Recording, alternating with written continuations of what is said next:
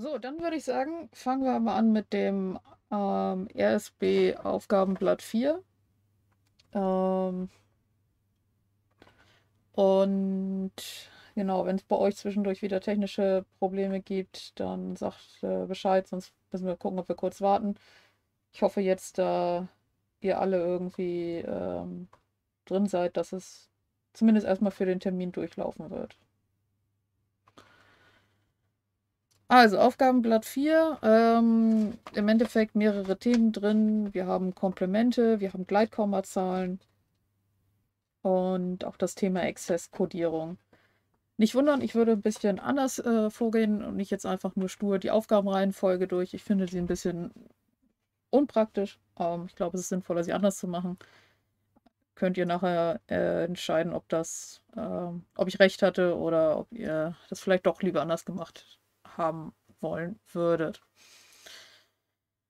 Also erstmal zum Thema ähm, Komplement Komplemente an sich. Äh, wir haben, ja, was ist die Intention von Komplementen ähm, oder Komplementrechnung? Äh, wir wollen damit Subtraktion einfacher bearbeiten können. Also der Vorteil von ähm, dann Addition mit einer Komplementzahl ist, dass wir keine Subtraktion brauchen. Das hieße auf Rechnerebene, dass wir keine Hardware zur Verfügung stellen müssen, um Addition plus Sub äh, und, und, Subtraktion zu berechnen, sondern wir müssen nur gucken, dass wir einmal, ähm, dass wir eine Addition berechnen können. Das ist technisch einfacher und die Komplementbildung selber ist auch noch vergleichsweise einfach. Was gibt es jetzt für Komplementarten? Wir können ähm, uns anschauen, das sogenannte B-Komplement einer Zahl. Also, was heißt das erstmal? Das B-Komplement einer Zahl. Ähm, B äh, steht in dem Fall für die Basis des Zahlensystems. Das heißt, wir können gucken, es gibt zum Beispiel, wenn wir sagen, wir haben b gleich 2, ja, Dualsystem, Basis des Zahlensystems ist 2, dann hätten wir das, dann oder dann würden wir vom Zweierkomplement reden. Es kann aber ja auch sein, dass wir sowas haben wie ähm, die Basis ist 10 und in dem Fall reden wir vom Zehnerkomplement. Jetzt gibt es nicht nur das b-Komplement einer Zahl, sondern noch das b-1-Komplement. So, warum jetzt b-1? Wenn ich bei b, zum Beispiel im Dualsystem, b gleich 2 habe, dann ist b-1 tatsächlich ganz wörtlich zu verstehen. Das heißt, ähm, bei b gleich 2 ist b äh, minus 1, 2 minus 1 das Einer-Komplement. Haben wir die Basis 10, wäre das 10 minus 9 das 9er Komplement. Das gilt also erstmal ganz allgemein, egal in äh, welchem Zahlensystem wir sind. Wenn wir ein Zahlensystem haben mit einer Basis, dann gibt es das B-Komplement und das zugehörige B-1-Komplement, abhängig eben von der Basis. Das gleiche gilt dann natürlich auch, wenn wir ein Hexadezimal haben, haben wir das 16er Komplement und das 15er Komplement. So. Die Bildung des jeweiligen B-1 und B-Komplementes ist, ähm, ja, ist dann auch tatsächlich äh, relativ ähnlich. Weiß einer von euch, wie das B-1-Komplement gebildet wird? Also zum Beispiel ähm, für, für, für b gleich 2. Also wenn wir jetzt das b minus 1, also das Einer-Komplement im Dualsystem bilden wollen.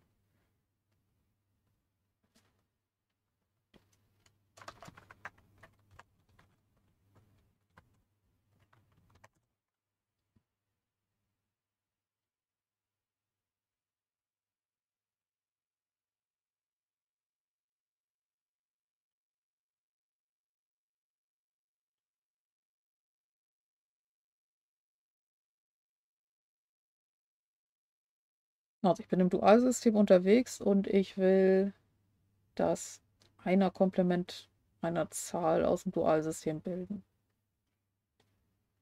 Was muss ich dafür machen?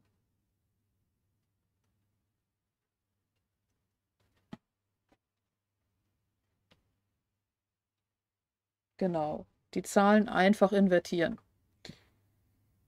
Und das ist im Dualsystem natürlich noch relativ einfach. Ähm, wenn ich die Zahl 0 habe, dann kommt da 1 raus. Und wenn die Zahl 1 äh, das ist, dann kommt da die Zahl 0 raus. Und das Ganze stellenweise. Heißt also, wir machen Invertieren aller Ziffern.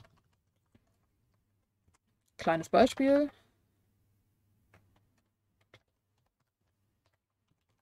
Wenn ich die Zahl 101 habe und ich will davon das Einer-Komplement bilden, daran kommt dann 010 raus. So, jetzt sagte ich schon, das ist äh, von Zahlensystem zu Zahlensystem relativ ähnlich. Ich kann das Ganze also auch äh, im Dezimalsystem machen. Auch hier ist das ein Zahleninvertieren. Wer weiß denn, was das Invertierte von der Zahl 9 ist?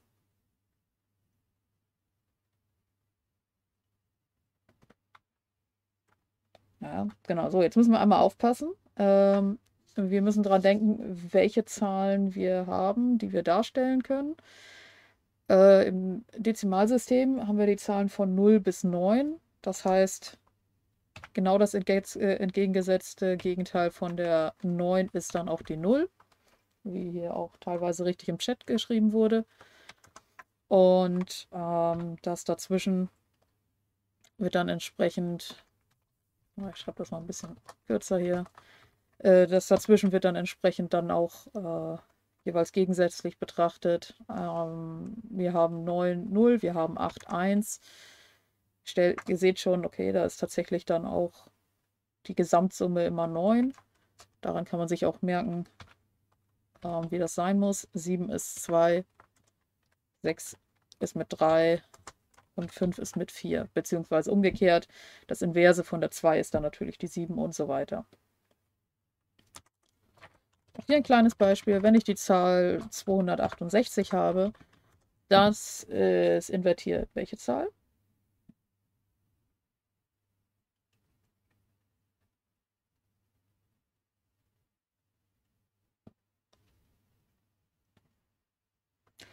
Siebenhunderteinunddreißig, richtig.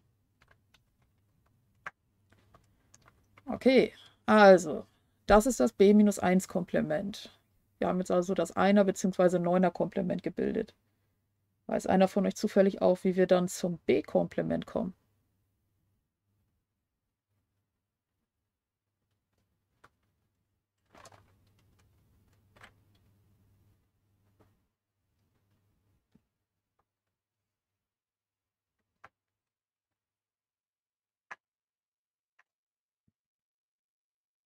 Kleiner Tipp, das B-Komplement, also zum Beispiel, wenn wir im Dualsystem äh, sind, das Zweier-Komplement. Dafür brauchen wir das Einer-Komplement oder müssen wir noch eine ganz kleine Kleinigkeit machen. Genau, plus 1. Also, als erstes, äh, also wenn wir das B-Komplement bilden wollen, dann müssen wir als erstes das B-1-Komplement bilden. Und als zweites addieren wir auf der letzten Stelle eine 1. Das auf der letzten Stelle ist dabei auch wirklich absolut wörtlich zu nehmen. Wenn wir eine Kommazahl haben, dann ist das die allerweitesten rechts stehende Zahl, auf die wir die 1 addieren. Hier mal kurz zwei Beispiele.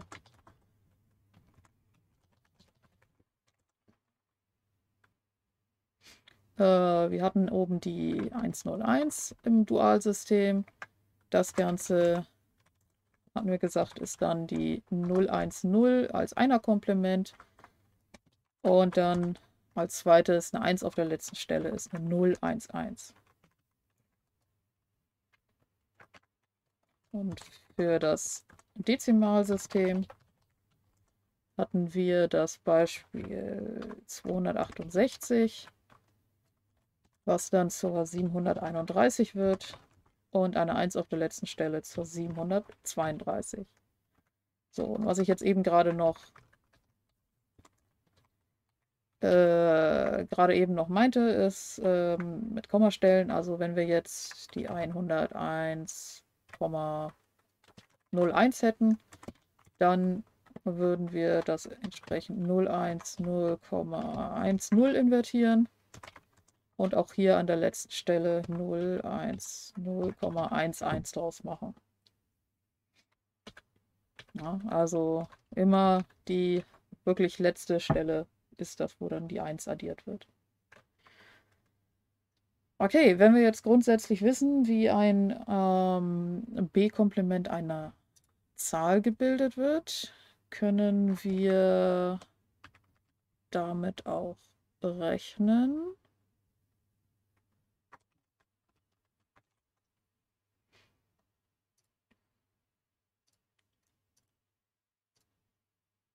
Und zwar würden wir äh, uns mal die Zahl 654 angucken.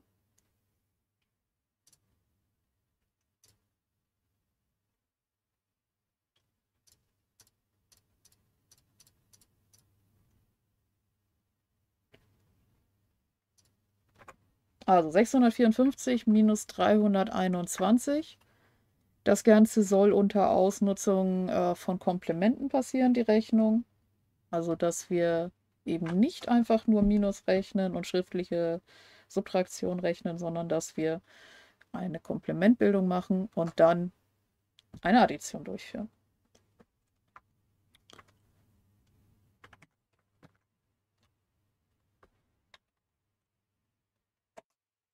Ja.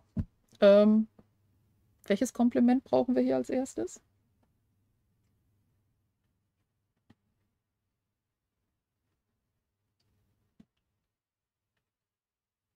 Das Neuner-Komplement. Genau. Neuner-Komplement, das war das Invertieren.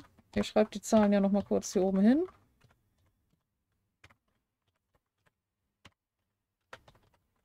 Oder die einzelnen Zahlenpaare.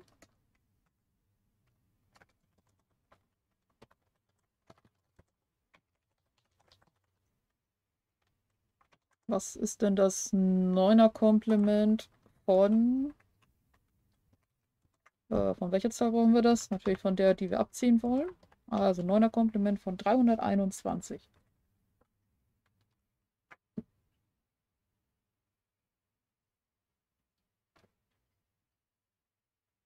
Ist 678. Genau. Und dann machen wir daraus das 10er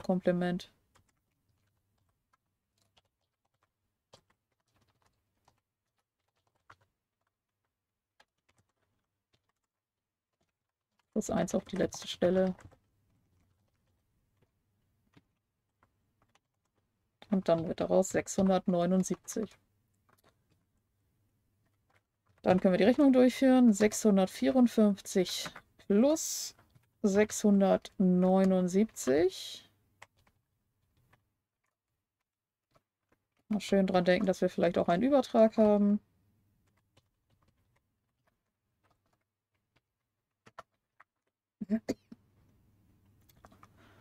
So, ähm, 9 plus 4, äh, Übertrag 1, Ergebnis 3.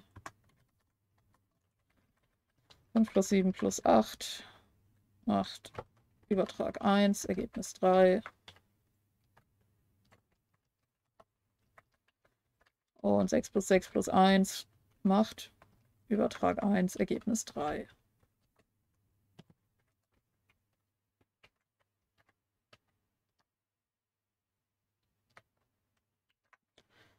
Das heißt, wir haben das Ergebnis äh, 1333. Ist das jetzt das finale Ergebnis unserer Rechnung so?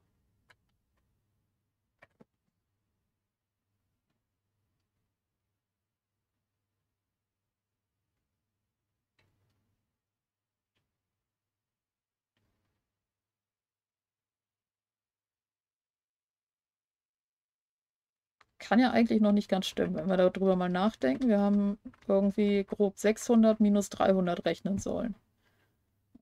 Kann jetzt eigentlich ja nicht irgendwie was Größeres rauskommen. Also müssen wir noch irgendwas machen. Irgendwas haben wir noch nicht jetzt mit unserem Ergebnis getan, was notwendig ist, um das richtige Endergebnis zu haben, nämlich die Zahl, die ja ähm, das Ergebnis der, der Subtraktion ist.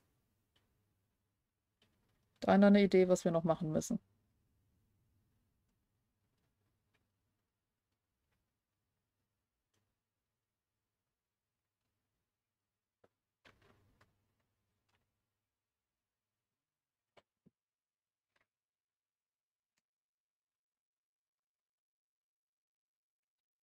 Was ist denn, ich hatte eben das schon angedeutet, wenn wir uns überlegen, 600 irgendwas minus 300 irgendwas, da muss ja eigentlich so ein Wert von 300 irgendwas rauskommen.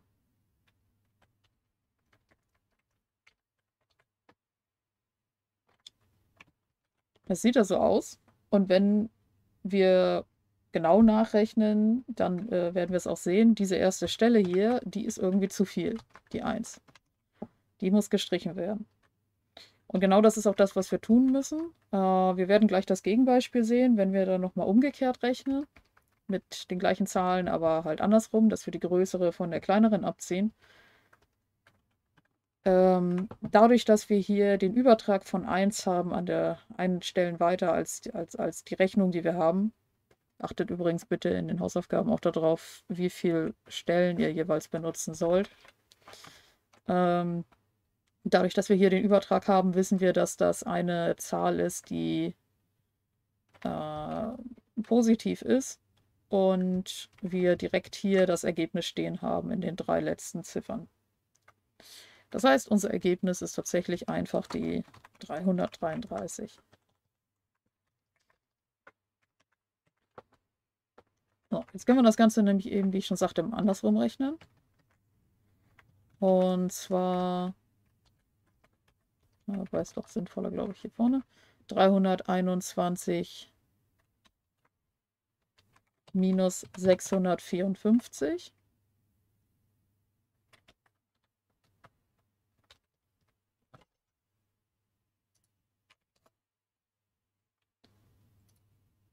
Dafür müssen wir jetzt natürlich von den 654 das äh, Zweierkomplement wieder bilden. Also invertieren und äh, invertiert ist das 345 plus 1 sind 346. So, wenn wir das nämlich addieren,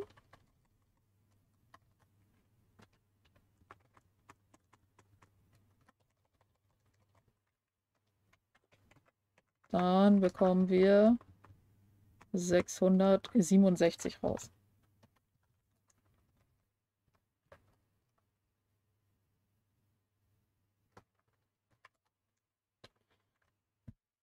So, in dem Fall haben wir hier keinen Überlauf davor. Es fehlt also so ein bisschen dieser, dieser Hinweis 1. Ähm, das ist für uns der Hinweis, dass das Ganze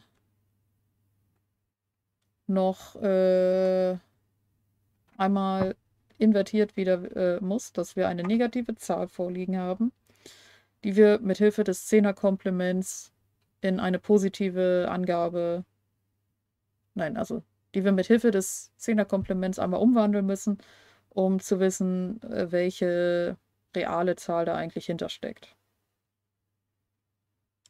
Das ist jetzt quasi eine Zahl in einer Zehnerkomplementangabe. Das heißt, wir würden das Ganze invertieren. Das Ganze ist 332 plus 1 gleich 333. Und das heißt für uns, dass das Ergebnis, weil es negativ ist, minus 333 ist. Genau. Stimmt, im Chat steht es auch da, äh, entsprechend der Berechnung hier. Ähm, okay, also, das heißt, achtet darauf, wenn ihr Berechnung macht mit dem 10er-Komplement oder nicht nur mit dem 10er-Komplement, sondern das gleiche gilt ja auch mit dem 1er- und 2er-Komplement, also wenn im 2er-Komplement eine Subtraktion macht, ähm, dass es sein kann, dass das Ergebnis nochmal wieder umgewandelt werden muss oder eben auch nicht.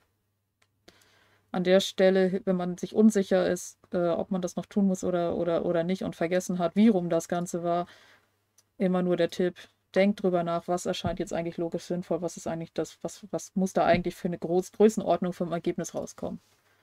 Also selbst wenn das jetzt hier irgendwie, keine Ahnung, 65.699 ist minus 32.584, dann muss ich nicht alles im Detail rechnen, um zu wissen, dass ich genau weiß, dass ich irgendwann Größenordnung 30.000 irgendwas rausbekommen muss. Okay, das Ganze können wir natürlich auch dual machen.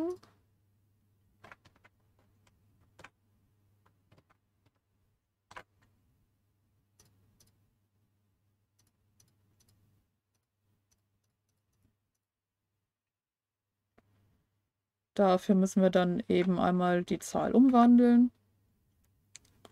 Ähm, hm. Weil ich gerade, ob wir damit weiterrechnen, ist eine relativ große Zahl, aber was soll's. Das war nicht die Zahl, die ich wollte.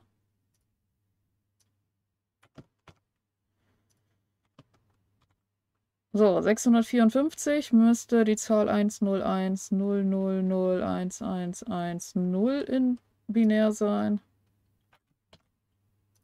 Ähm und die Zahl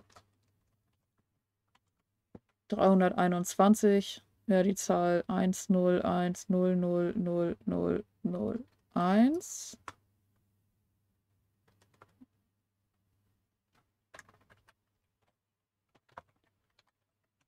Und dann würde das gleiche vom Ablauf sein. Ähm, ich hätte jetzt natürlich keine Lust, äh, oder das heißt keine Lust, also ich darf hier nicht negativ rechnen, brauche also das Zweierkomplement, invertiere also meine Zahl, die 1 wird zu 0, die 0 wird zu 1, die 1 wird zu 0, die 0 wird zu 1, 1, 1, 1, 1 und 0.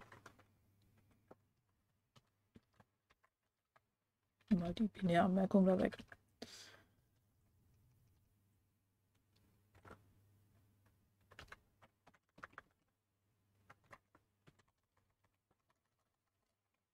Das Ganze dann schriftlich addieren.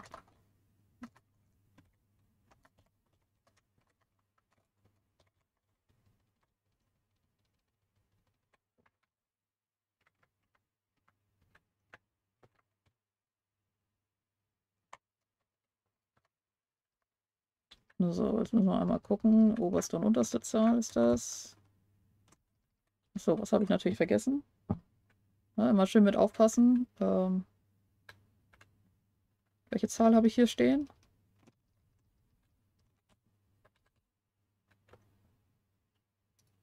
Was addiere ich jetzt gerade? Welchen Schritt habe ich vergessen, weil ich zu schnell war?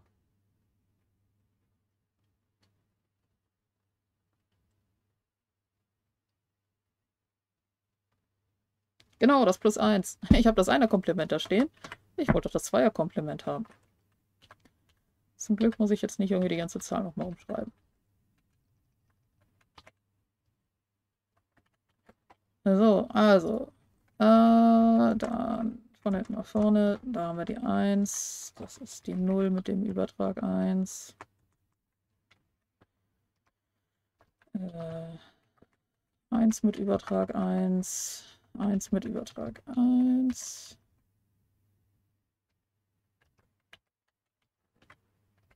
Äh, 0 mit Übertrag 1. Nochmal 0 mit Übertrag 1. Langsam hier aufpassen. Da fängt es nämlich an zu verrutschen.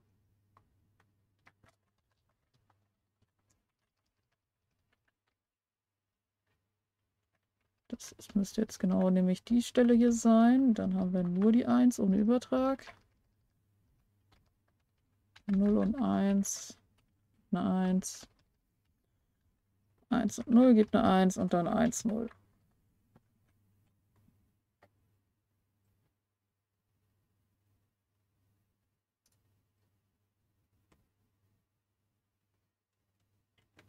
So, ähm, was wir jetzt haben, ist, dass wir uns äh, natürlich dann die Frage stellen, passt das überhaupt?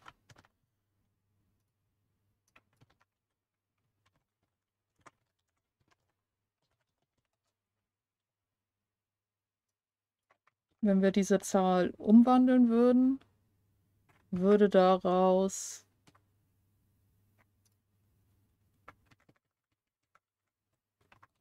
folgende kommen.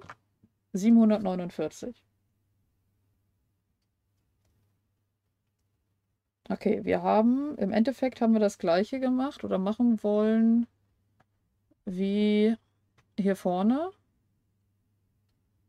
654 minus dem Komplement von 321 rechnen. Hm. Irgendwas hat hier gerade nicht funktioniert. Habt ihr eine Idee, was, äh, warum das vielleicht nicht so ganz funktioniert hat? Oder was da schwierig ist?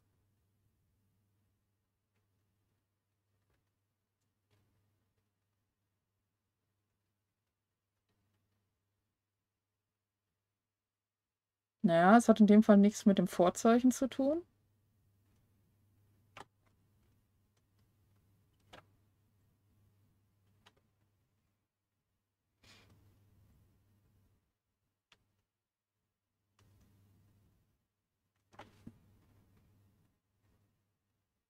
Also rein logisch betrachtet müsste ich ja entweder auf diese Zahl, diese Zahl oder vielleicht noch diese Zahl kommen. Also irgendwie was um 1333, 333 oder 667. Das lässt sich vielleicht dann alles irgendwie begründen. Aber ich habe eigentlich die gleiche Rechnung durchführen wollen wie hier am Anfang, nur ähm, bin auf was anderes gekommen. Was, was ist unterschiedlich zwischen der Rechnung ganz links und der Rechnung hier rechts? Also außer das Zahlensystem.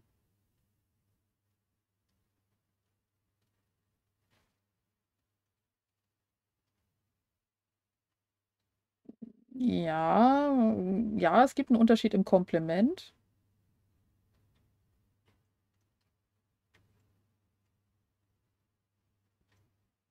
Ich helfe euch mal. Man sieht es nicht ganz so gut, aber sehen tut man es trotzdem. Ähm, ich habe hier eine, drei, sechs, neun, zehnstellige Dualzahl.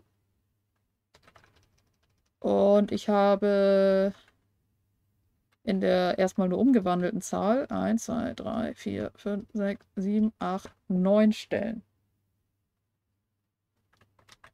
Das heißt, ähm, 10 Stellen, 9 Stellen. Und hier habe ich zwei dreistellige Zahlen. Damit der Trick hier auch so gut funktioniert, dass ich äh, meinen Übertrag kriege oder nicht kriege, ähm, ist es eben wichtig, dass ich gucke, dass ich auf gleichmäßige Stellenanzahl komme. Das heißt, wenn ich hier meine,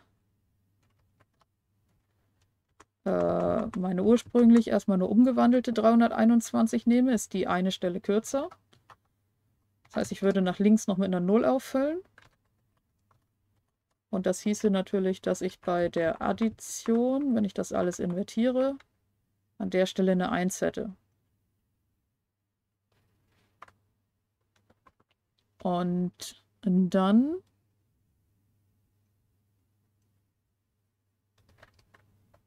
Jetzt muss ich einmal gucken. Äh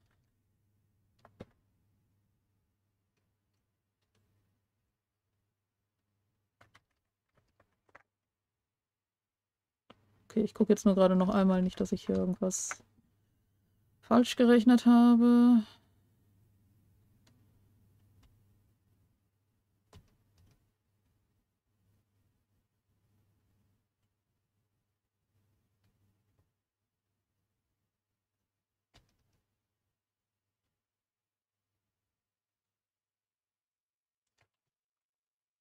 Kann sein, dass ich hier sowieso dann eine 1, eine 0, eine statt eine 0 habe? Machen wir es mal einfacher. Machen wir mal ein bisschen den Abstand rein.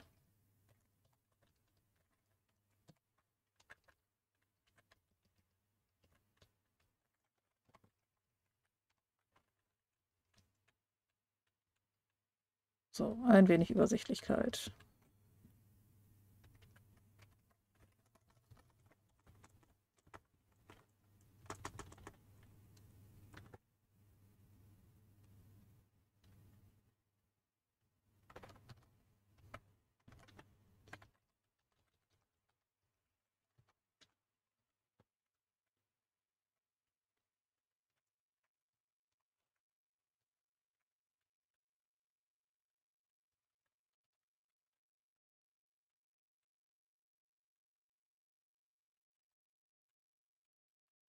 So, 1, 1, 0, 1, 1, 0.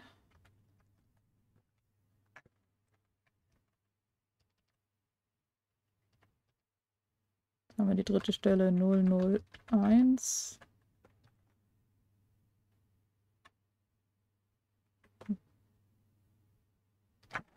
Wait a moment. Äh, 0, 0. So.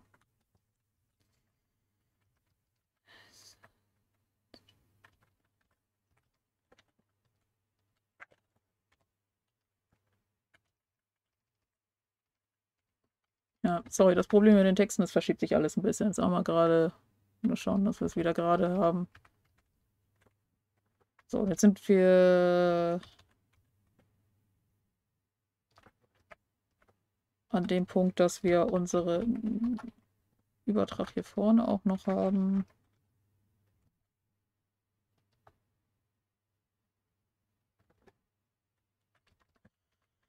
Und damit auf eine äh, elfstellige Zahl kommen.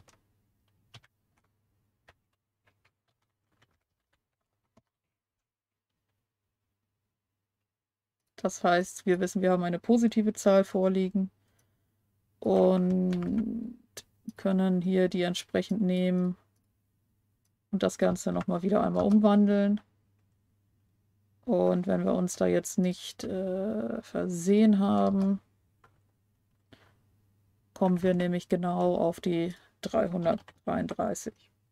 Also achtet darauf, dass, die, äh, dass ihr die Anzahl der Stellen anpasst, falls das nötig sein sollte für die, für die Aufgabe, insbesondere bei den Dualzahlen, aber auch bei den anderen Zahlensystemen. Und ansonsten ist es das gleiche, wie wir es hier auch schon haben im, im Dezimalsystem. Ähm, Genau, vielleicht noch kurz der Vollständigkeit halber das Ganze hexadezimal betrachtet. Wir hatten ja auch schon Hexadezimalzahlen ein bisschen letztes Mal. Äh, das heißt, wir haben Zahlen von 0 bis f oder Ziffern von 0 bis f. Die 654 in Hexadezimal hat den Wert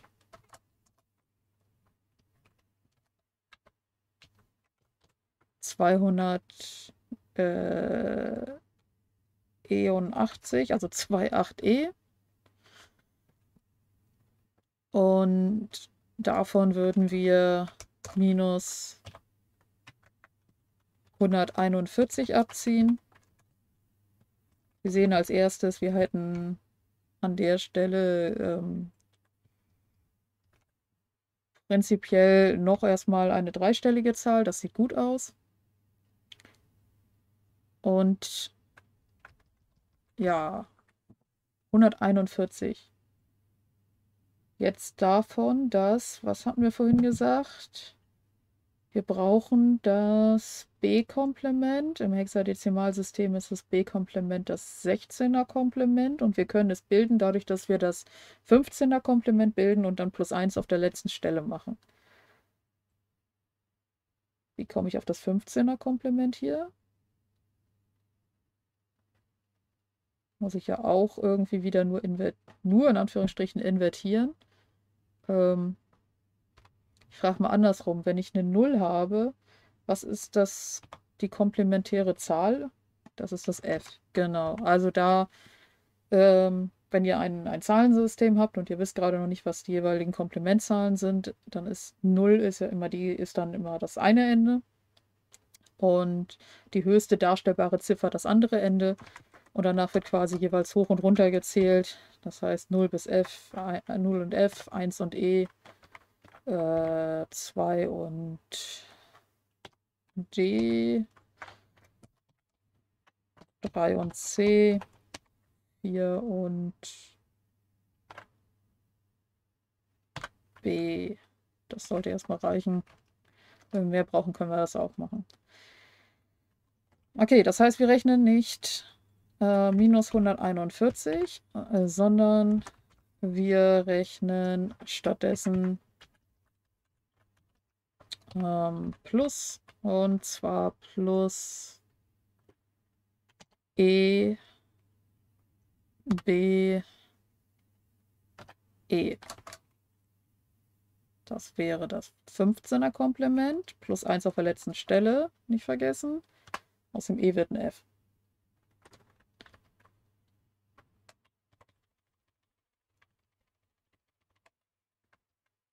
Ähm, ja. So, natürlich gerade kein Platz mehr für den Übertrag. Kurz, kurz.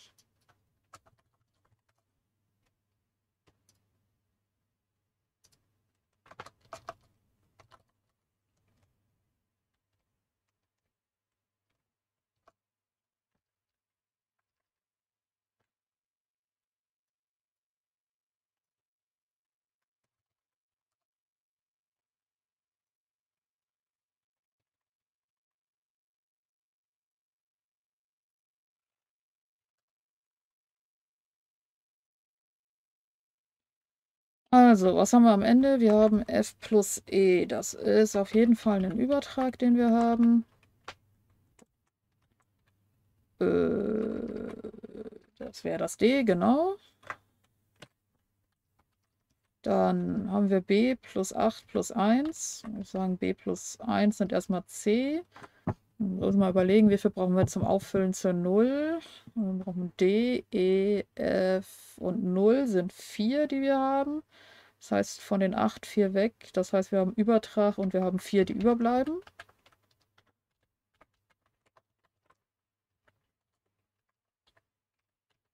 Und 2 E und äh, der Übertrag von 1. Also E und 1 sind schon mal F. Brauchen wir noch einen, um den, den äh, auf die 0 zu kommen und haben dann noch einen über. Das heißt, wir haben Übertrag von 1.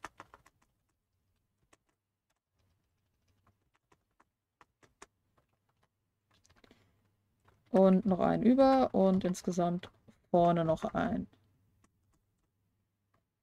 Das heißt, wir haben auch hier wieder, wir sind dreistellig gestartet, haben jetzt vier Stellen. Auch hier wieder die, äh, der, der Hinweis mit dem Überlauf, dass wir dadurch hier eine positive Zahl vorliegen haben. Ansonsten müssten wir das gleiche wie hier oben machen. Invertieren plus 1.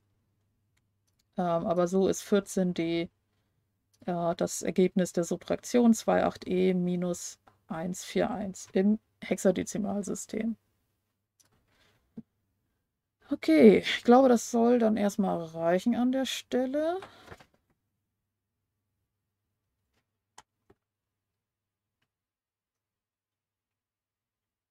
Dann gucken wir uns doch einmal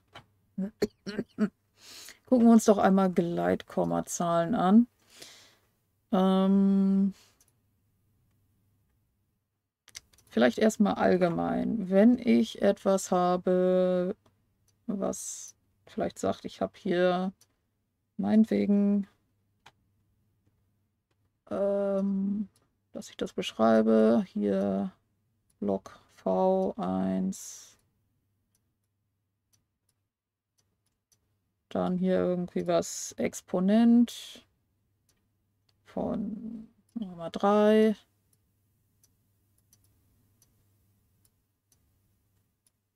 Und eine sogenannte Mantisse von, nehmen wir mal 2 ähm, dann ist das ja eigentlich nur eine sehr verkürzte Schreibweise oder ein, eine Beschreibung für ein Format.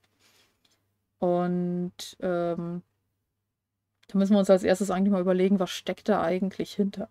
Ja. Das ist, also, ja, es ist irgendwie eine Fließkommazahl. Ähm, da steckt erstmal hinter, dass wir irgendwie irgendwas mit dem Vorzeichen hier haben. V steht für das Vorzeichen. Und dass wir dann auch äh, eine Anzahl Bits dafür nutzen. Das heißt, an sich bedeutet das Ganze hier 1, 3 und 2, dass ich eine, ein Format habe, was in dem Fall 6-Bit benutzen würde. In der Hausaufgabe habt ihr ein Format, was 10-Bit benutzt. Und dann könnte ich jetzt irgendwie eine Bitkette haben, die beispielsweise jetzt irgendwas Einfaches erstmal, nur so als Beispiel, die so aussehen könnte. Bitkette 1, 0, 0, 0, 0, 1. Und ähm, ist dann, wenn wir wissen, dass das in dem Zahlenformat wie hier oben ist, dann können wir daraus auch gucken, okay, wir haben ein Vorzeichen. Wenn das Vorzeichen kann Plus oder Minus sein. Und wenn das Vorzeichenbit gesetzt ist, was für ein Vorzeichen ist das dann? Haben wir dann Plus oder Minus vorliegen?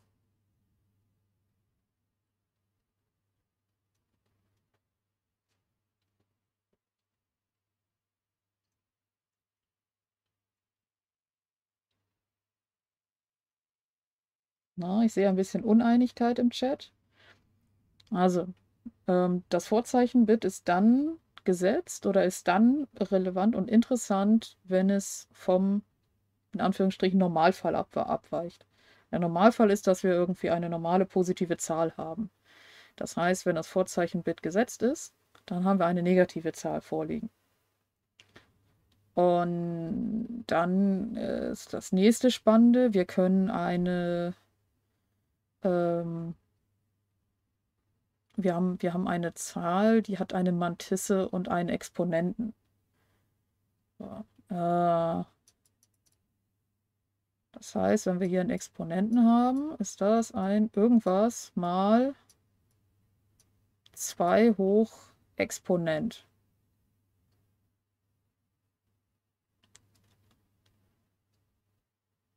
Und um dieses irgendwas hier zu wissen, da gibt es eben das Thema der Mantisse.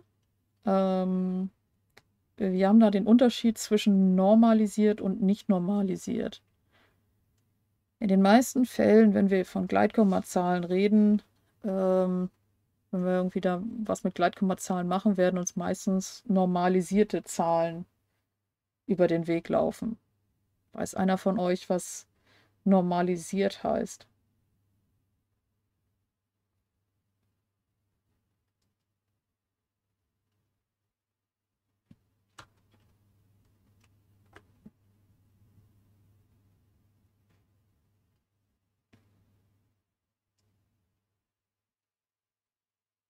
Also ich kann ja verschiedene äh, Zahlen haben.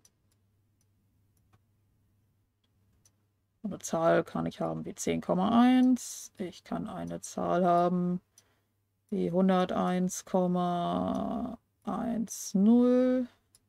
Ich kann eine Zahl 11 haben. Ähm, ich kann eine Zahl 1, 0, 1 haben.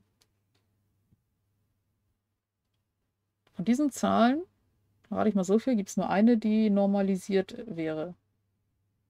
Welche von den Vieren ist die normalisierte Zahl? Genau, die 1,01 wäre das dann, äh, zumindest wenn wir im Dualsystem unterwegs sind. Und zwar ist das so, dass, die, dass wir vor dem Komma nur die erste von null verschiedene Ziffer haben.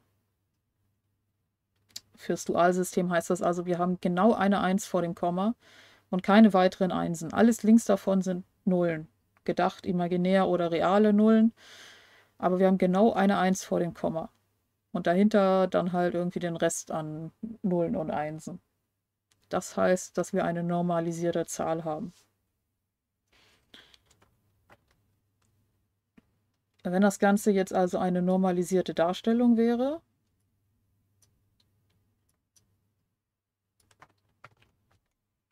Okay, das Schreiben klappt heute nicht so gut, sorry. Ähm, so, wenn das jetzt eine normalisierte Darstellung wäre, dann wissen wir, äh, dass das eine 1 vor dem Komma hat. Unsere Mantisse. Und es ist dann so, dass nur der Rest der Mantisse, also hinter dem Komma, das Ganze aufgeschrieben wird. In dem Fall also das 01. Da stellt man sich natürlich die Frage, warum brauche ich denn die 1 hier vorne nicht irgendwie zu kodieren in dem Ganzen? Und wenn ich weiß, dass meine, Zahl in, mein, dass meine Zahl in normalisierter Darstellung aufgeschrieben wird, dann ähm, brauche ich auch gar nicht irgendwie was anderes machen, als da eine. Ja, also da brauche ich die 1 ja nicht aufschreiben, wenn die, weil die einfach immer da ist. Dann kann ich mir halt diese eine Stelle sparen und habe theoretisch ein Bit mehr für andere Sachen zur Verfügung. So, und dann würde äh, daraus also der Exponent generiert, äh, die Mantisse ge äh, generiert und, ähm, und dann hätte ich noch den Exponenten. Und das sieht jetzt erstmal so aus, als ob das dann einfach hier 2 hoch 0 wäre. Ist aber nicht ganz so einfach, weil ähm, der Exponent häufig in einer sogenannten Exzessdarstellung ist. Weiß einer zufällig von euch, was das heißt, Exzessdarstellung? Was meistens euch über den Weg gelaufen äh, laufen wird, ist sowas wie Access 127. Für die Hausaufgabe gibt es da ein Beispiel mit der Access 15.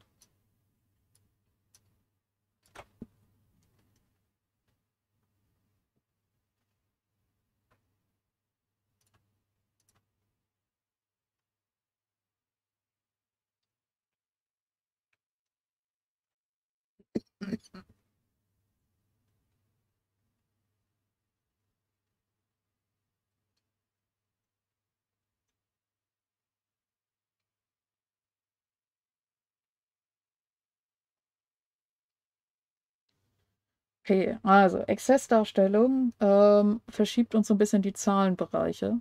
Und äh, vielleicht sollten wir ja auch aufpassen, dass wir tatsächlich einen Exponenten haben, mit dem wir da was anfangen können. Ähm, ich könnte an der Stelle, es sind drei, drei, drei Bit, 001, nehmen wir mal eine, nehmen wir mal eine Access 9 Darstellung. Oder Access 9 Codierung. Ähm, dann heißt es, dass mein Exponent nicht genau der Exponent ist, den ich hier habe, sondern dass der nochmal umkodiert ist. Und zwar muss ich dann beim, bei der Exponentenrechnung darauf achten,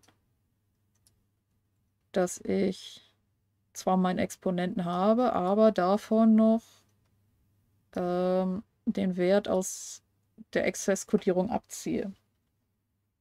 Das heißt, mein eigentlicher Exponent an der Stelle wäre 2 hoch 8, äh, minus 8, so.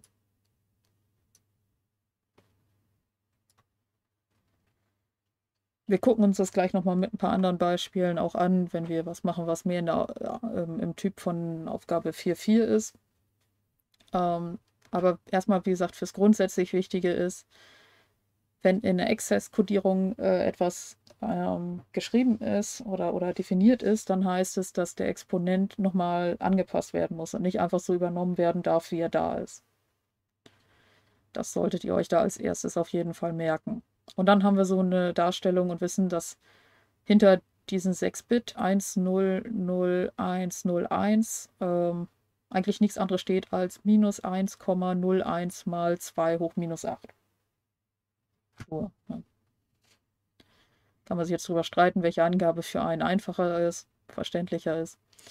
Ähm, genau, die Idee von den Access-Kodierungen ist, ähm, andere Zahlenbereiche äh, zu nutzen, beziehungsweise ähm, wenn ich jetzt nicht eine Access 9 Codierung hier nehmen würde, sondern eine Access 5 Codierung, dann würde ich andere Zahlenwerte darstellen können. Ähm, in den In den IEEE 754 Werten ist meistens so ein bisschen die Idee, dass man das halt, ähm, dass man positive und negative Werte gleichmäßig da drin hat.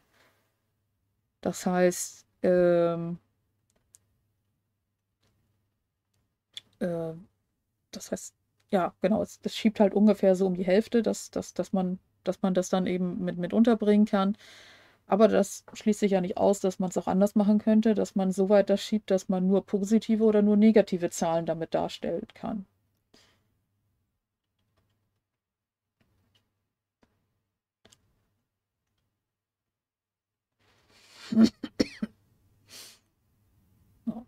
Hängt halt davon ab, wie genau man das eben definiert. Also wie, äh, wie man den Exzesswert wählt.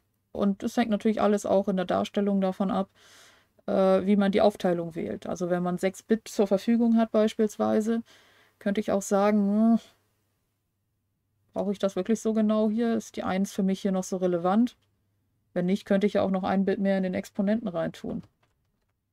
Also das ist immer von Anwendungsfall zu Anwendungsfall unterschiedlich.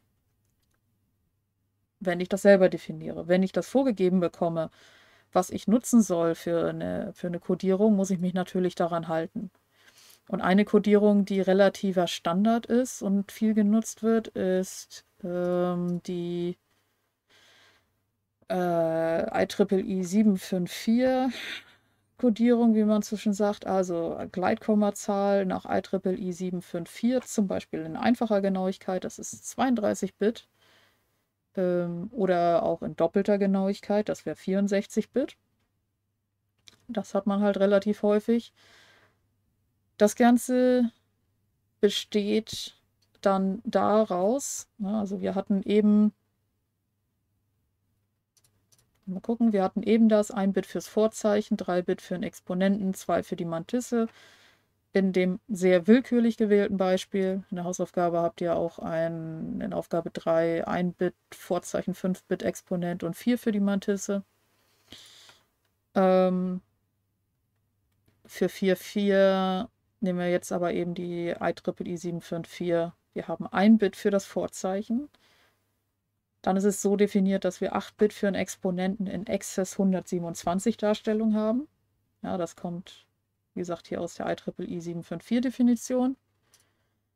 Und die restlichen Bits, die dann übrig sind, also wenn wir 32 minus 1 minus 8 rechnen, haben wir noch 23 Bit über. Die restlichen Bits sind für die Matisse in normalisierter Darstellung.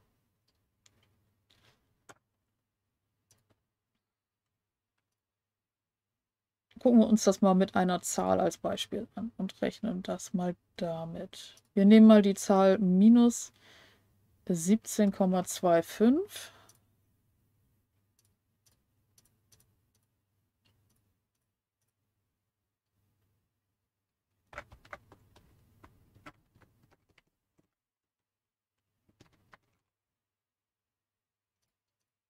Und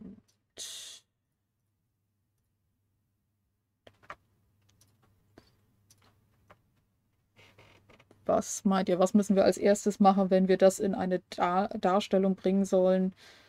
Nach IEEE 754, 1 Bit Vorzeichen, 8 Bit Exponent in Access 127 Darstellung und 23 Bit in Matisse in normalisierter Darstellung.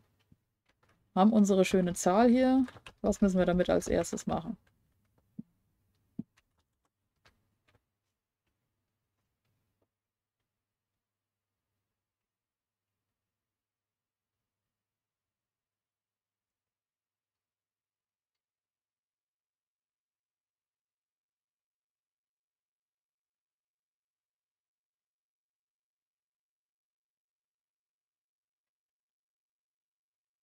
In welcher Form sonst, also vielleicht mal die Frage nochmal dazwischen, sonst in welcher Form ähm, liegt, denn, liegt denn mein Ergebnis vor? Oder in welchem Format? Oder auch in welchem Zahlensystem? Binär, genau. Es sind ja 32 Bit. Und eben in genau dieser Reihenfolge, das Vorzeichen, der Exponent, und die Mantisse.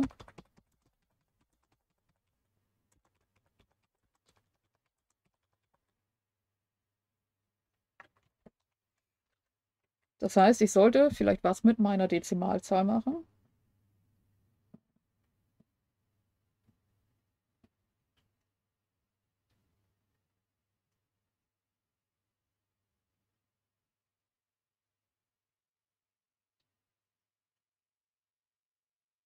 Brauche ein binäres Ergebnis. Ja, genau. Ich, ich sollte es vielleicht einfach einmal umwandeln. So, 17,25. Äh, äh, wenn ich das umwandle, dann müsste ich auf 1, 0, 0, 0, 1,01 kommen. Ne, ein Viertel war ja quasi die zweite Stelle nach dem Komma. Okay. So, jetzt habe ich eine Dualzahl. Jetzt, jetzt geht es so richtig los. Ähm, was mache ich als erstes? Was ist jetzt sinnvoll?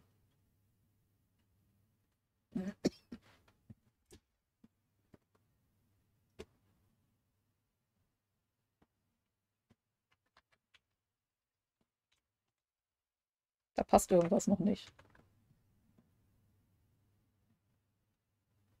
Genau, also äh, irgendwie habe ich hier so viele Stellen vorm Komma.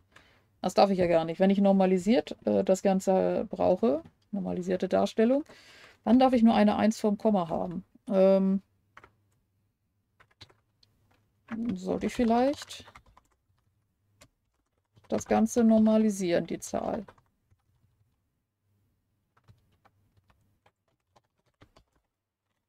Also minus 1, 000101. So, und jetzt muss ich natürlich überlegen, mal, das darf nicht vergessen werden, 2 hoch, äh, ja, und nu, 2 hoch, was ist mein, was ist mein Exponent, den ich da gemacht habe? Ich habe das Komma nach links verschoben. Vier Stellen, genau, sagt doch schon richtig, vier. Genau, also wenn ich das Komma nach links verschiebe, dann steigt mein Exponent. Eine Stelle nach links, Exponent plus 1. Zwei Stellen nach links, Exponent plus 2.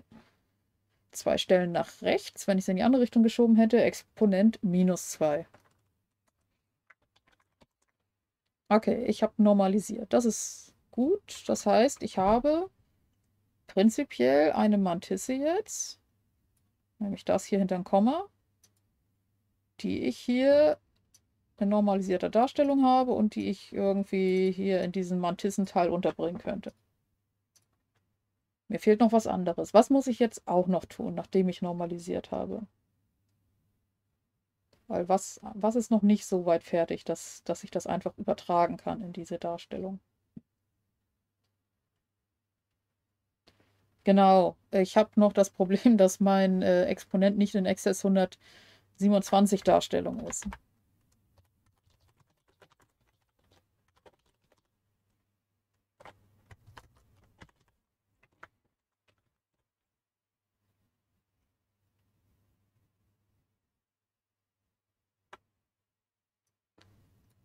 Oh, äh, mein jetziger Exponent Wenn ich den ganzen einmal ausrechne, ich habe die Zahl 4. Ich addiere dazu 127. So, wir erinnern uns bei 8-Bit vielleicht, dass 8-Bit, das 8. Bit genau, also 2 hoch äh, 7, wenn man das ja durchrechnet, genau die 128 sind, das heißt minus einer, also 0 und der Rest 1 sind 127.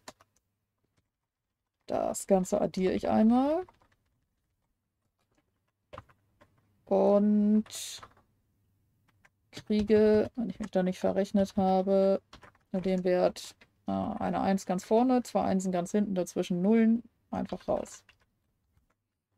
Also dezimal ist das im Endeffekt die Rechnung 4 plus 127 gleich 131.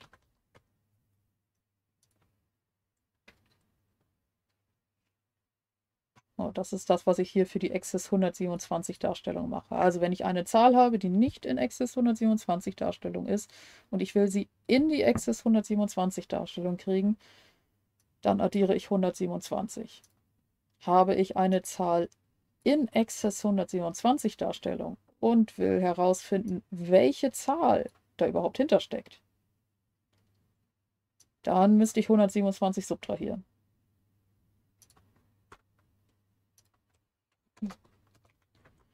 Okay. Ähm,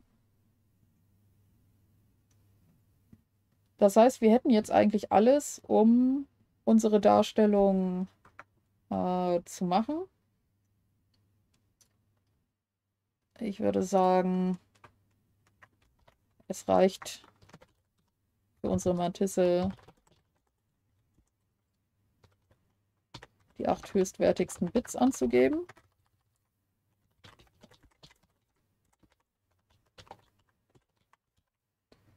Das würde bedeuten, wir geben nur äh, die ersten acht hier an und die dahinter lassen wir weg, weil wir eh an. Ah, okay, es gibt nochmal die Nachfrage, ja. Ähm, wann subtrahiert man? Also, es kann jetzt sein, wenn ich. Nee, warte, lass uns erstmal das zu Ende machen. Ich gucke da gleich, gleich, gleich da nochmal rückwärts dann da drauf. Also, wenn äh, vorwärts gerechnet, wir haben, eine, wir haben eine Zahl ganz normal eine, eine Dezimalzahl und wir wollen die in diese IEEE 754 Darstellung haben. Dann haben wir sie normalisiert, haben einen Exponenten rausbekommen. Das ist aber erst nur der normale Exponent und um die in die Darstellung zu bringen, wie sie gefordert ist, muss ich die 127 addieren. Da sind wir jetzt gerade. Nächsten Schritt oder das andere erkläre ich gleich nochmal. Ich habe jetzt eine normalisierte Zahl. Ich habe einen Exzess, einen Exponenten in Exzess 127 Darstellung. Ähm, das heißt, ich kann jetzt eigentlich diese Form angeben. Meint ihr, ihr kriegt das schon mal hin, einen Vorschlag zu machen, wie das aussieht? Also was ich jetzt als Ergebnis aufschreiben müsste?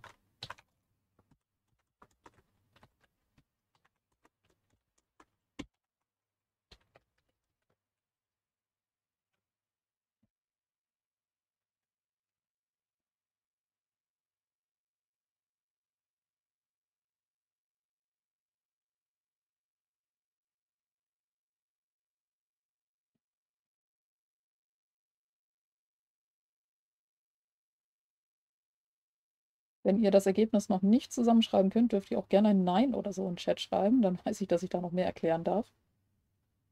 Oder ihr seid noch dabei, dass ihr sehr viel im Chat gerade, äh, dass ihr schreibt, weil es ein bisschen Tipparbeit ist. Das wäre auch verständlich.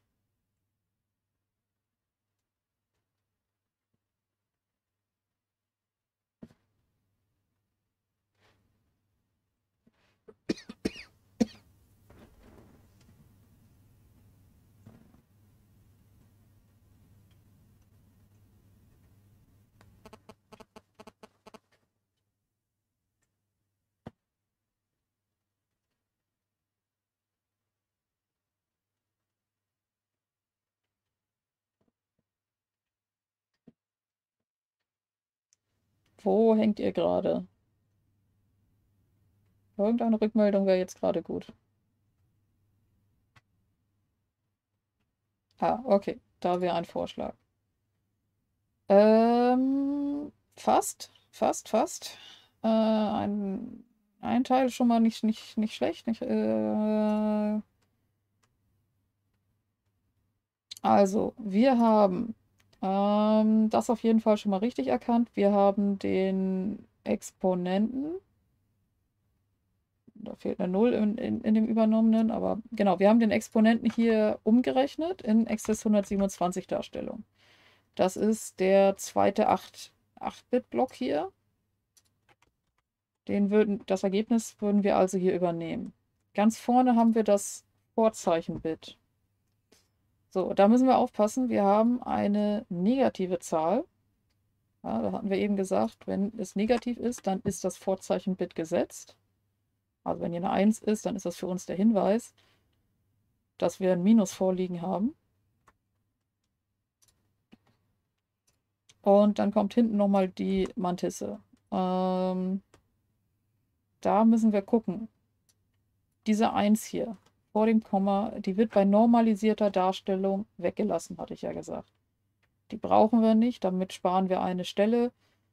Wenn wir wissen, dass äh, immer die normalisierte Darstellung benutzt wird an dieser Stelle im Code oder, oder wo das da eben definiert ist, dann wissen wir, dass da immer eine 1, vorkommt.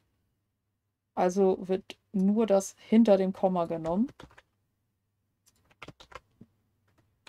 So, jetzt machen wir mal da 4 einmal so ein Leerzeichen. Und jetzt haben wir 6-Bit. Ähm, wenn es heißt, dass wir nicht alle 32-Bit nehmen brauchen, sondern nur die 8 höchstwertigsten, dann würden wir auf 8-Bit auffüllen, ohne dass sich der Wert der Zahl verändert. Das dürfen wir mit Nullen machen an der Stelle. Ja, wenn ich einfach hinter einem Komma weitere Nullen anfüge, ändert das ja nicht den Wert der Zahl. Ähm, wenn ich jetzt mehr angeben müsste als die 8-Bit, ne, dann würde ich hier quasi weitermachen. Weitere Nullen, bis ich eben 22, äh, 23 Stück davon habe. In dem Fall reichen uns aber 8-Bit. Und das wäre dann das Ergebnis des Ganzen. So, umgekehrt kann es aber auch sein, dass uns eine Zahl gegeben wird, ähm, wo es dann heißt, ja, die liegt in Access. Also, das wäre jetzt erstmal das Ergebnis der Aufgabe. Also, vielleicht erstmal das einmal abzuschließen. So. Ähm, eine andere Art von Aufgabe, und die werden wir gleich nochmal wieder mit 4.1 so ein bisschen sehen. Eine andere Art von Aufgabe kann sein, dass uns eine Zahl gegeben wird, wo es heißt, diese liegt in Access 127 Darstellung vor. Das heißt, wir wissen, das ist nicht einfach eine Zahl, die wir ins Dezimalsystem umrechnen können, um zu wissen, was dahinter steckt, sondern wir müssten die 127 abziehen, um zu wissen, was eigentlich der reale Wert des Exponenten dahinter ist. Und ja, wir könnten das Ganze abziehen. Wir wissen, wir können natürlich stattdessen auch einfach mit dem Zweierkomplement addieren. Das macht es vielleicht schneller, einfacher.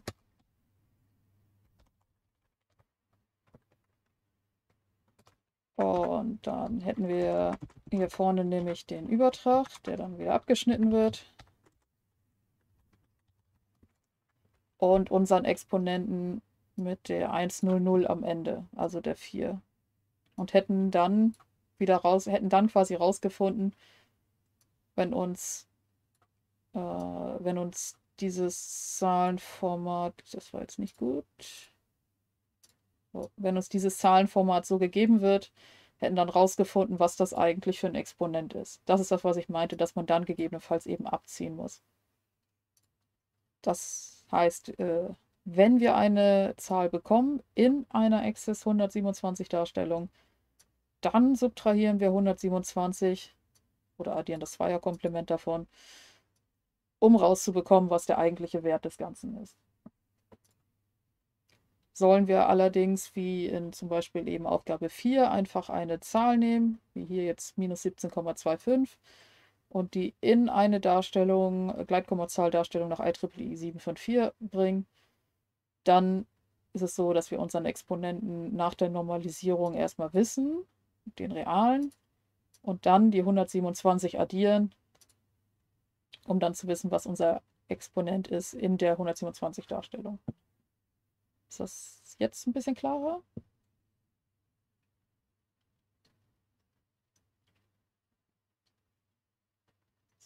Sehr schön. Ja, ist auch ein bisschen, ähm, da muss man seinen Kopf auch erstmal drum rumbringen, wann man was machen muss. So.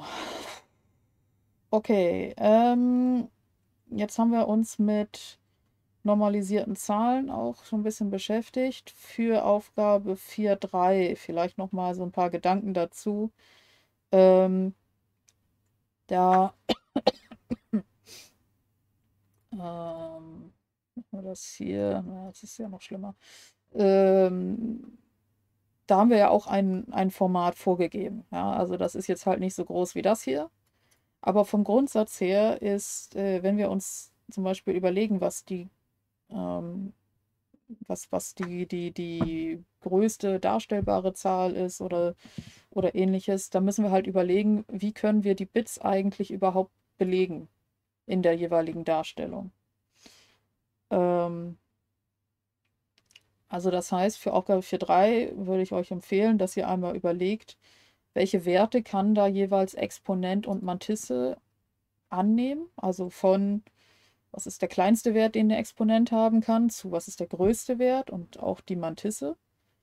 Und da haben wir eben einmal das in normalisierter Form. Da müsst ihr eben dran denken, dass da bei normalisierter Form immer eine 1 vom Komma bei der Mantisse steht. Und es gibt auch ähm, die denormalisierte Form. Was ist das jetzt schon wieder? Ähm, es kann sein, dass in normalisierter Form es gar nicht möglich ist, eine Zahl äh, darzustellen, äh, wenn sie einfach viel zu klein ist. Weil wir ja mit dem, was wir haben, das irgendwie nicht hinkriegen. Ähm,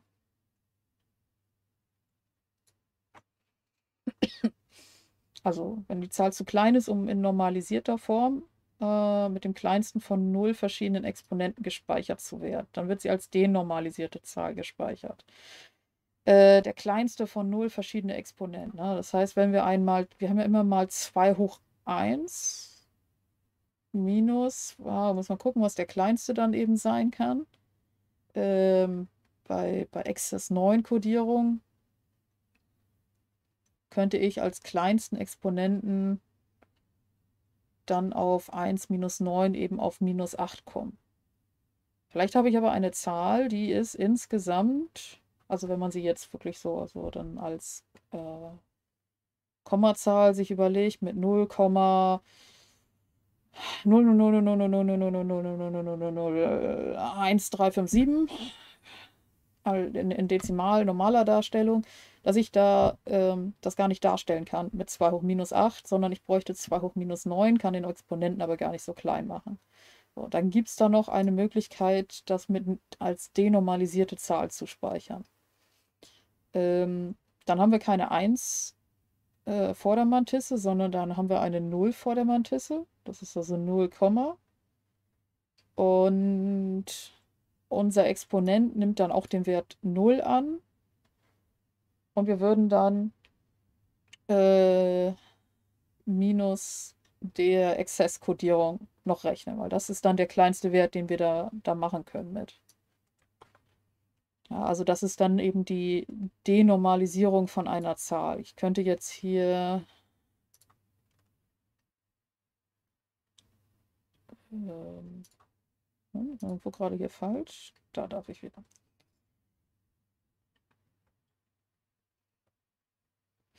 Also ich könnte halt eine Zahl haben, die irgendwie 0, ein Komma, dann hat die hier irgendwie ganz viel was. Und basiert dann auf 2 hoch 1 minus 9.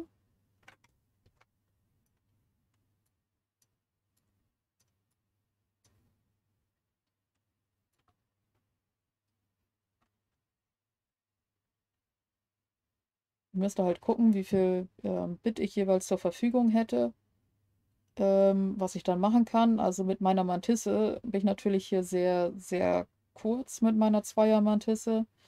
Ich könnte hier, das kleinste, was ich irgendwie darstellen kann, ist 0,01 mal 2 hoch 1 minus 9 an der Stelle, ähm, weil es Access 9 Kodierung ist. Und müsste dann eben einmal gucken, ähm, was da eigentlich dann rauskommt.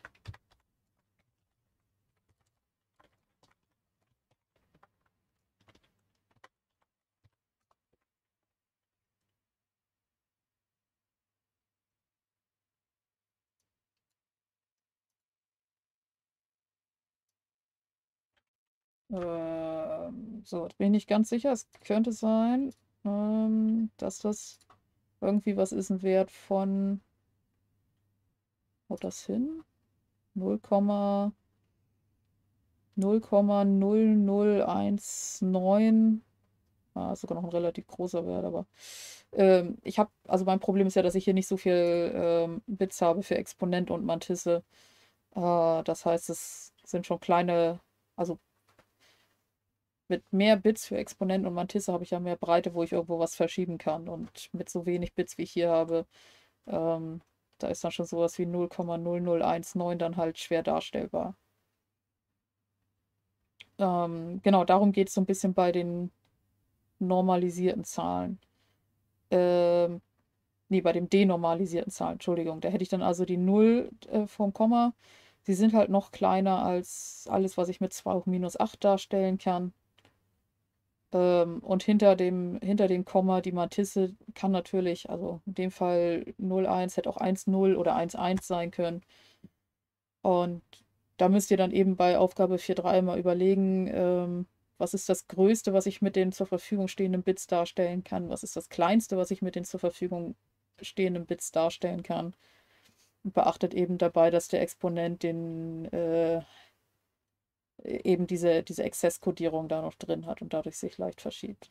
Aber wie gesagt, das Einfachste ist, äh, hätte ich gesagt, überlegt euch, welche Bits sind da möglich, wie, wie könnt ihr die Bits besetzen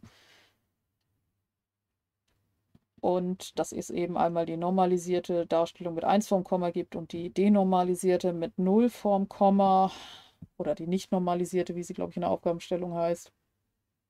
Und ihr dann eben ähm, äh, schauen müsst, dass ihr damit andere Werte dann darstellen könnt. Kleiner Hinweis, denkt auch noch daran, dass es vielleicht so was wie Errorzahl gibt, unendlich äh, oder auch 0, ähm, dass ihr die Fälle vielleicht zumindest euch kurz anguckt, ob das noch irgendwelche Auswirkungen hat.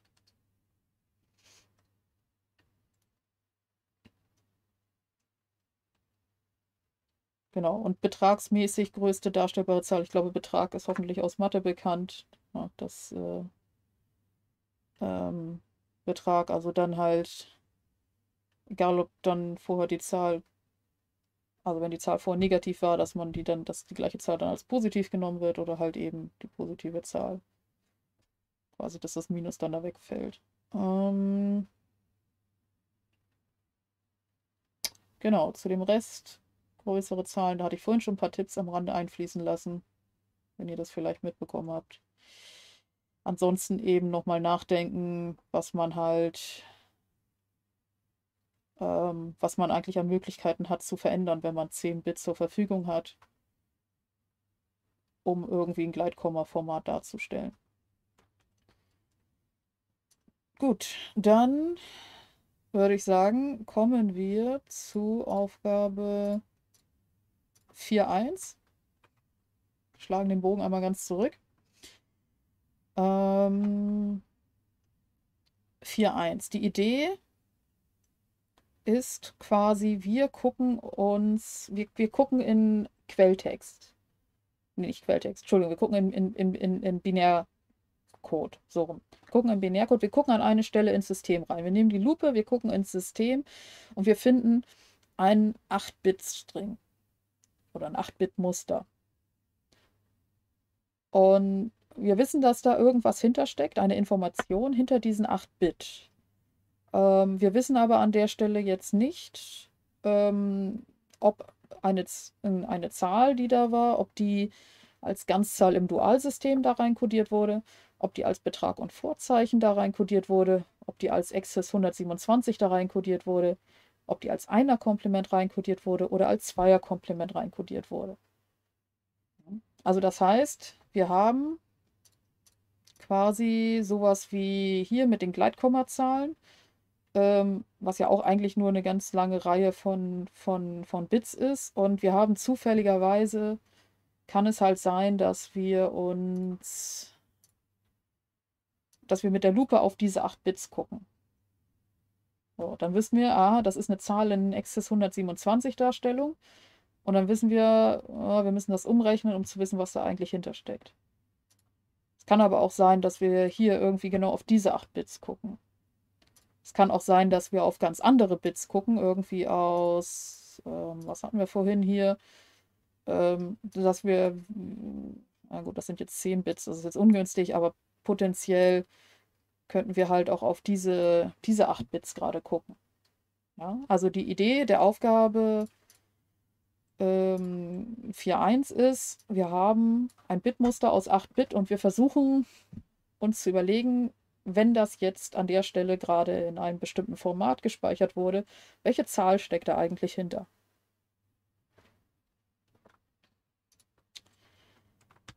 So, das erste Beispiel, was wir hier nehmen, ist äh, 5 mal die 0, 3 mal die 1. Ähm,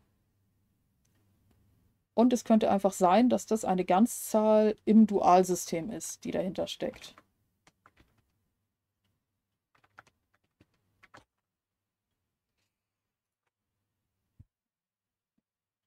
Das heißt, das ist einfach nur eine Binärzahl. Und wenn ich jetzt wissen will, welche Zahl das in Dezimal ist, was muss ich dann tun?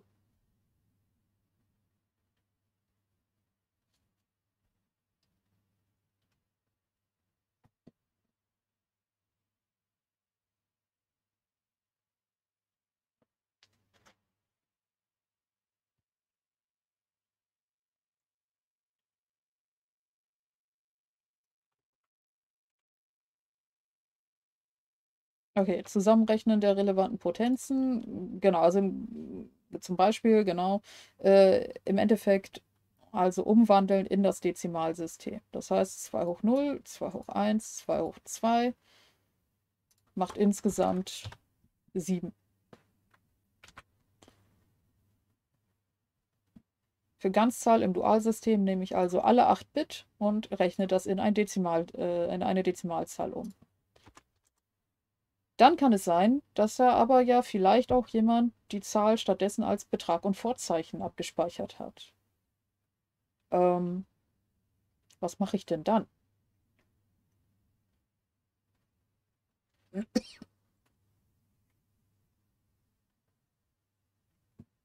Eine Idee, wo ich damit umgehen muss, wo ich was wiederfinde.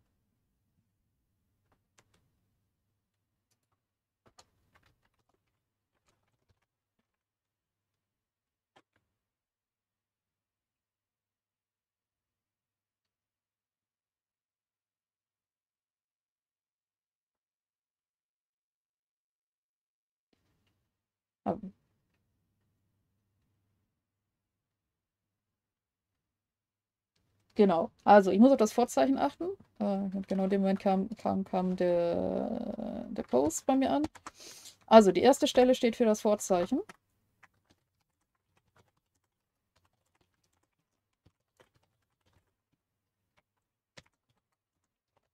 Null ist positiv. Eins ist negativ.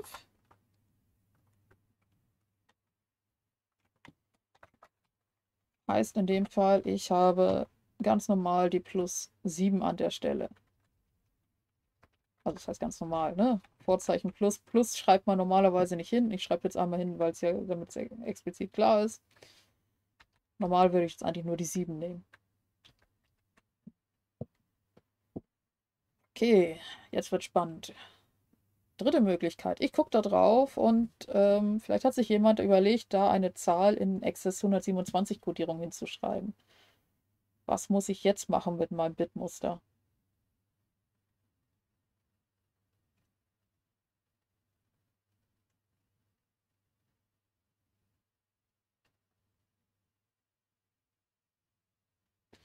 Richtig, jetzt muss ich nämlich genau das machen, dass ich das abziehe. Zahl minus Offset, also Zahl minus 127 das Ganze rechnen. Jetzt versteht ihr vielleicht auch, warum ich erstmal Aufgabe 4.3 und 4.4 mit euch gemacht habe, den Komplex. Wenn man das erstmal so ein bisschen versteht. Also, Zahl, die ich haben will, ist meine Ganzzahl minus dem Offset. Hier also 7 minus 127 gleich minus 120.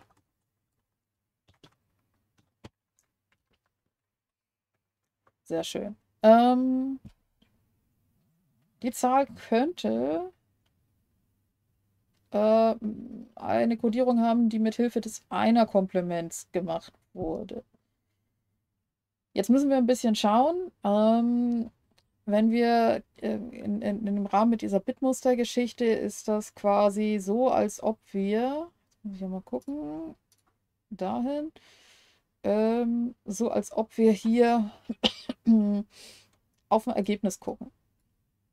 Und wir haben hier bei den Ergebnissen zwei unterschiedliche Arten, wie wir damit dann weiter vorgegangen sind. Das eine Mal mussten wir was umrechnen. Das andere Mal konnten wir es einfach so lassen. Das müssen wir hier auch berücksichtigen. Wenn wir sehen, dass eine Zahl oder ein Bitmuster ein, einer positiven Zahl entspricht, dann können wir direkt daraus die Dualzahl ablesen. Wenn wir sehen, dass das eine negative Zahl sein muss, dann können wir daraus oder müssen wir das entsprechende Komplement bilden, weil das für uns dann den Hinweis gibt, dass die Zahl als Komplementzahl dasteht. Also eigentlich gerade eine negative Zahl uns ähm, dasteht. Also ja, vielleicht kann man auch überlegen, vielleicht ist es halt sowas wie der Unterschied zwischen äh, bei meiner Rechnung, ich habe hier meine Zahl, wie sie, wie sie echt ist, einfach nur in Dual umgewandelt. Ja, kleiner Tipp, da ist da vorne die 0, die ich eigentlich abziehen will. Nach der Umwandlung habe ich aber irgendwie hier vorne auch meine 1 mit dabei. Ähm, das ist das, was wir auch wiederfinden können in unserem Bitmuster. Ja, also ich helfe euch da jetzt gerade noch ein bisschen viel, weil ich weiß, dass das äh, doch manchmal für Verwirrung sorgt oder gesorgt hat in den letzten Jahren. Das heißt, für Einer-Komplement, Zweier-Komplement in der Interpretation von Bitmustern muss ich immer gucken, was sagt mir meine erste Zahl. Und wenn es 0 ist, sagt es mir, dass es quasi eine positive Zahl hier ist. Und dann darf ich einfach das Ganze ins Dezimalsystem umwandeln. Wenn es eine 1 ist, dann muss ich das Ganze vorher erstmal das Komplement bilden. So, das heißt, hier oben ist es noch relativ einfach. Welche Zahl ist das jetzt, die ich hier eintragen muss beim Einer-Komplement?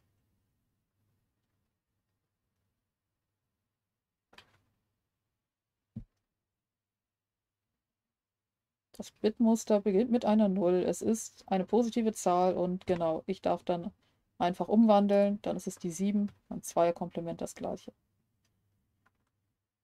So, ähm, gucken wir uns mal das zweite Bitmuster an. Das besteht aus sechs Einsen, einer 0 und noch einmal einer 1. Und wir gehen nochmal die gleichen Schritte durch. Einmal als Ganzzahl im Dualsystem. Welche Zahl steckt da jetzt hinter?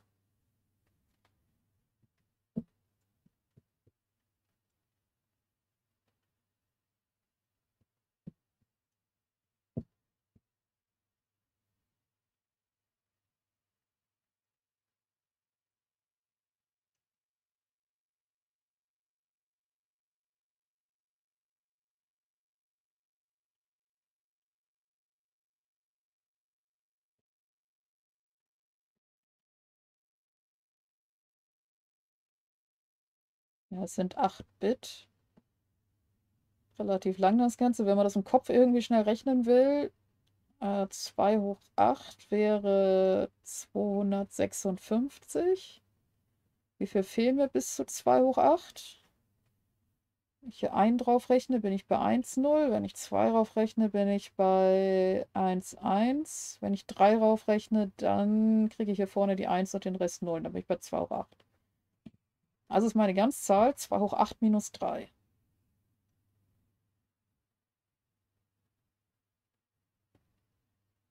Welche Zahl? Genau, die 253. Also man kann natürlich auch die Potenzen einzeln durchrechnen. Ähm, in dem Fall reicht hier auch die Angabe des Ergebnisses. Und äh, für die Hausaufgabe dürfte auch hier die Angabe des Ergebnisses dann reichen. Da braucht ihr nicht die Potenzen einzeln aufschreiben. Also, dann haben wir Betrag und Vorzeichen. Habt ihr einen Vorschlag, was das für ein Wert ist?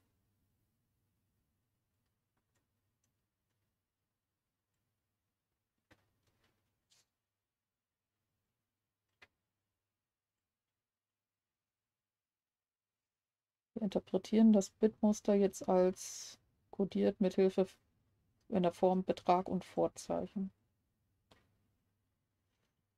Minus 125 höre ich als Vorschlag. Das ist auch genau richtig. Ähm, das erste Bit steht für unser Vorzeichen. Das heißt, da haben wir das Minus her. Heißt aber gleichzeitig auch, dass wir nur noch 7 Bit übrig haben, um äh, den Rest zu codieren.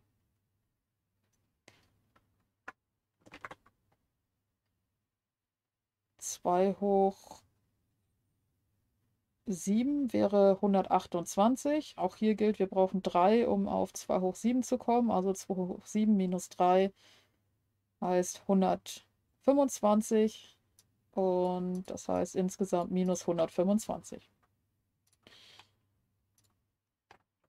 Okay. Access 127 Codierung. Wie sieht es damit aus?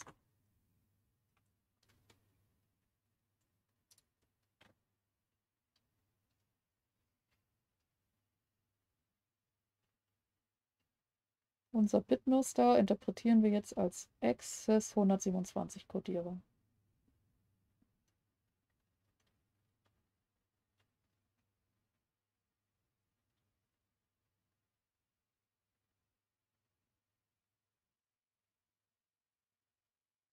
Ja, 126 ist der Vorschlag, den ich hier ähm, habe, genau.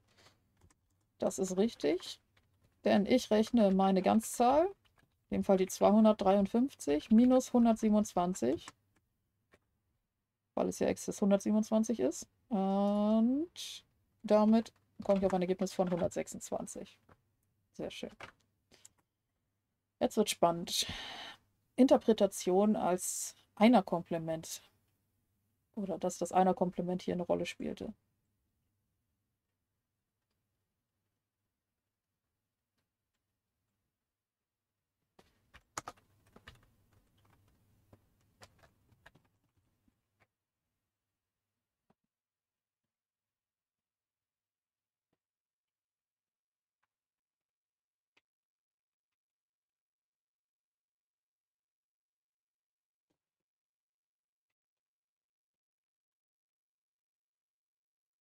Was hatten wir vorhin gesagt? Was müssen wir, worauf müssen wir gucken, wenn es hier darum geht? Genau, Komplement müssen wir bilden.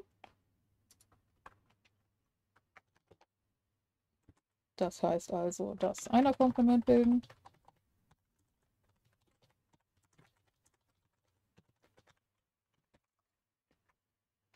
Das ist, äh, wie hier schon richtig gesagt, die 0000010.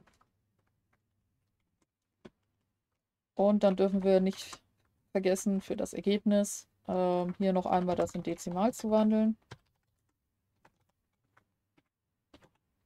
Warte, prüft das noch kurz. Genau, also es wird die Angabe in Dezimal ähm, dann auch äh, gewünscht.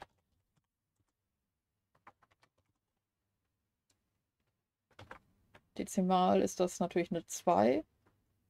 Ist das jetzt unser Ergebnis? Sind wir damit fertig?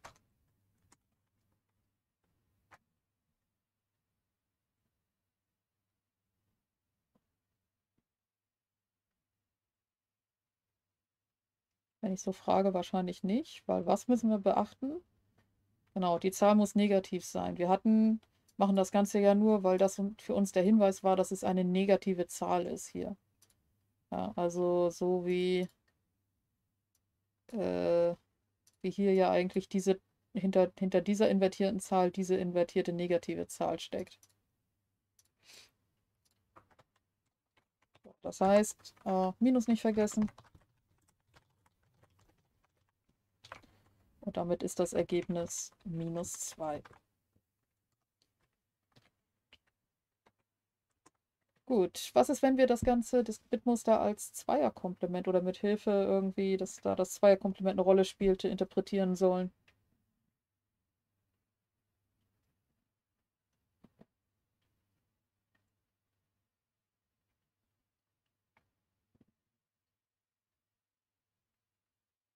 das gleiche plus bloß mit plus 1. Ja, so kann man das auch äh, beschreiben. Also, einer Komplement bilden. Plus 1 addieren. Auf der letzten Stelle. Das bedeutet, wir kommen auf 0, 0, 0, 0, 0, 1, 0. Da fehlt eine 0 vorne. Plus die 1. Gibt also dann eine 1, 1. Das Ganze dann natürlich nochmal in Dezimal wandeln. Ist eine 3. Minus nicht vergessen. Es fehlt eine 0 im ersten Block. Die müsste ich ja, glaube ich... Ach nee, da fehlt wieder eine, ja. Da ist auch schon wieder gut aufgepasst. Vielen Dank. Äh, Minus nicht vergessen. Und dann haben wir das Ergebnis minus 3. Das ist das, was ihr dann wieder da eintragen dürft. Genau, und das ist eigentlich das, was für die anderen Bitmuster dann in der Hausaufgabe ja eben ähm, auch äquivalent gilt. Dass ihr eben durchgeht das Ganze und vielleicht eben ähm, ja, für euch einfach mal auch mal guckt, äh, schaut, was passiert eigentlich, je nachdem, wie ich ein Bitmuster unterschiedlich da interpretieren kann, was auch dann, wie die Zahl dann auch sehr unterschiedlich lauten kann. Manchmal sieht sie halt sehr gleich aus, also bis auf hier die Access 127 Codierung haben wir beim ersten Bitmuster heute immer ähm, eine, eine Plus 7, während wir hier bei unserem zweiten Bitmuster, was wir jetzt durchgegangen sind, ja sehr unterschiedliche Ergebnisse hatten, von 253 minus 125 über 6, 126 zu minus 2 und minus 3. Und ähm, im Endeffekt wir dadurch halt auch sehen, dass äh, durch ja, es, äh, je nachdem, wie wir etwas codieren, äh, können wir halt eben verschiedene Zahlenbereiche ausnutzen. Und durch geschickt gewählten Zahlenbereich können wir, selbst wenn wir immer nur 8 Bit zur Verfügung hätten, ähm, durch geschickte äh, Codierung und Zahlen, äh, Codierungswahl und Zahlenbereichswahl können wir selbst mit 8 Bit schon sehr viel unterschiedliche Zahlen abbilden. Das ist eigentlich sehr spannend. Das steckt so ganz bisschen hinter der Aufgabe, auch wenn das nicht unbedingt so deutlich damit dazu steht. So, ich glaube, damit haben wir alles so ein bisschen. Ähm ja, ich glaube, die größten Stolpersteine ist so ein bisschen ne, beim Access 127. Wann, guckt mal, wann ihr das umrechnen müsst und wann nicht. Äh, dann gibt es hier noch eine Frage.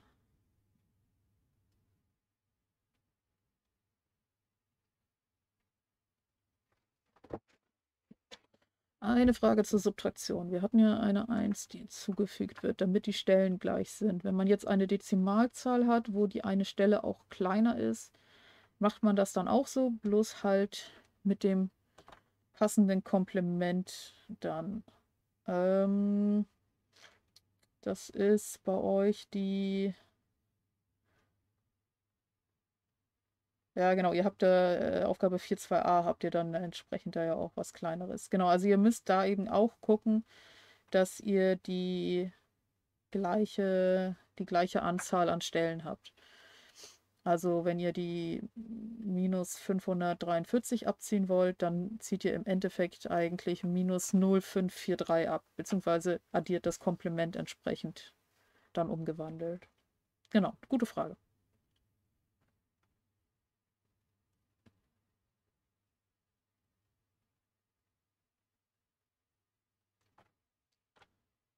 Gut, dann äh, hoffe ich, dass es euch mal wieder ein wenig weitergebracht hat, ähm, dass ihr ein bisschen besser mit den Themen zurechtkommt. Und dann würde ich euch eine schöne Woche wünschen. Und ja, vielleicht sieht man sich nächste Woche oder irgendwann anders wieder. Ciao.